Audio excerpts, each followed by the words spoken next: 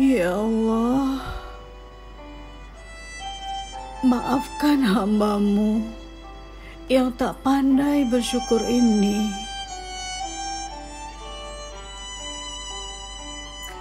Hamba harus bagaimana lagi, duhai Allah? Rasanya hamba sudah tidak kuat saat ini. Sungguh berat ujian yang kau berikan kali ini. Satu persatu berita duka.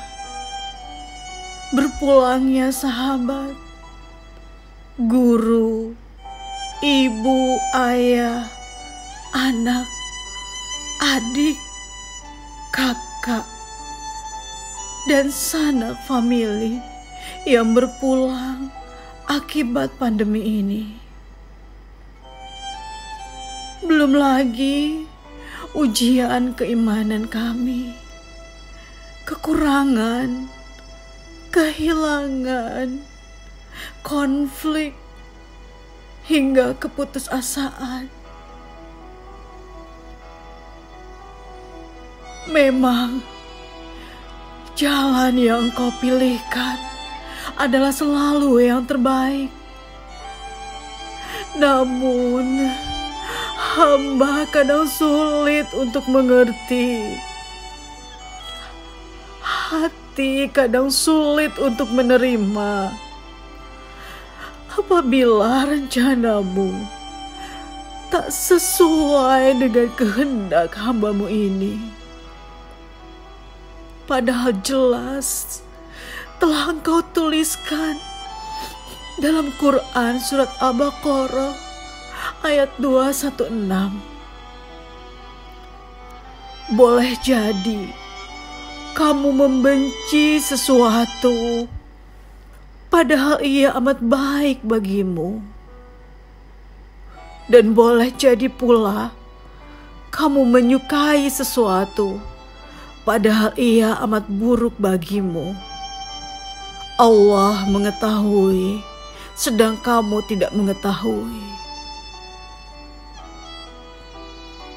Duhai Allah, maafkan hambamu ini. Jika sampai saat ini aku masih memaksamu mengikuti keinginanku. Maafkan jika sampai saat ini rasa kecewa dan sakit itu masih ada.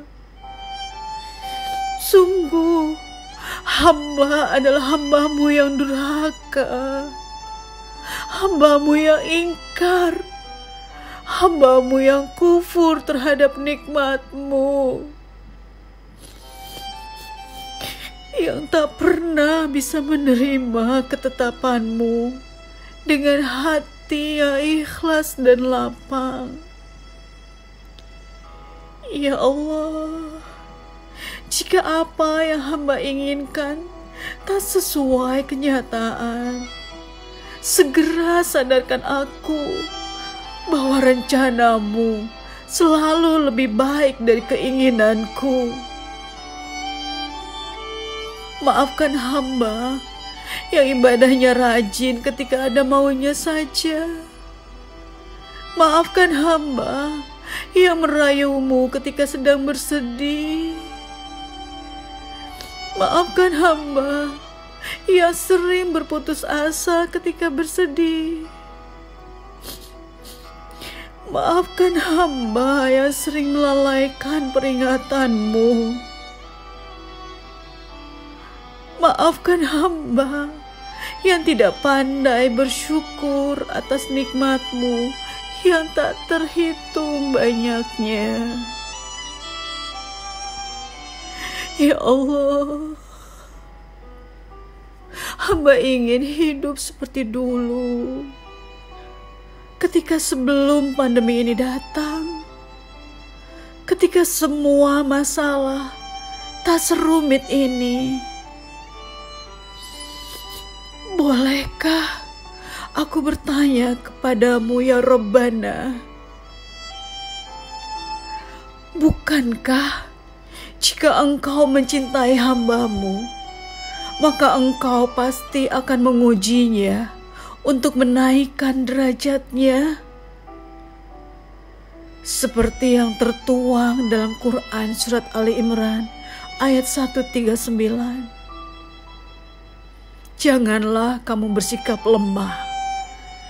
Dan janganlah pula kamu bersedih hati, padahal kamulah orang-orang yang paling tinggi derajatnya. Jika kamu orang-orang yang beriman.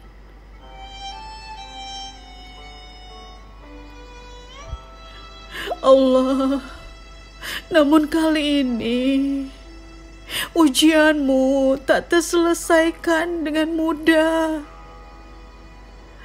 Hambamu ini tidak kuat ketika hamba harus bertahan di situasi yang tidak menentu dan tidak aku harapkan.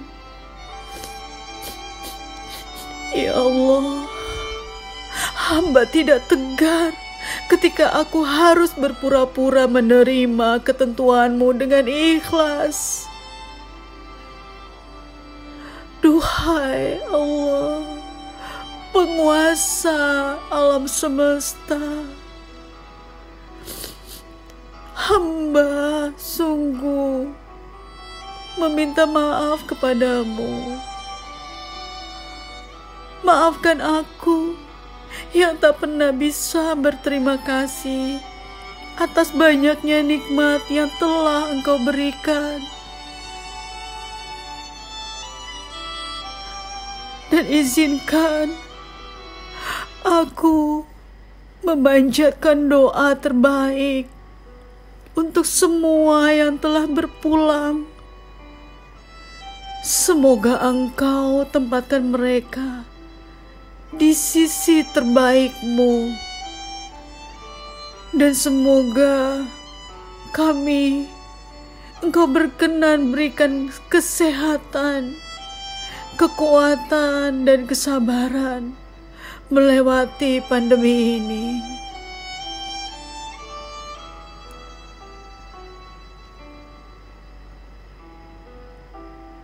Izinkan aku mengirimkan Al-Fatihah ini untuk kami semua.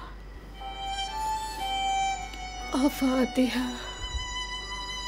أعوذ بالله من الشيطان الرجيم بسم الله الرحمن الرحيم الحمد لله رب العالمين الرحمن الرحيم مالك يوم الدين الدين إياك نعبد وإياك نستعين اهدنا الصراط المستقيم صراط الذين أنعمت عليهم غير المغضوب عليهم ولا الضالين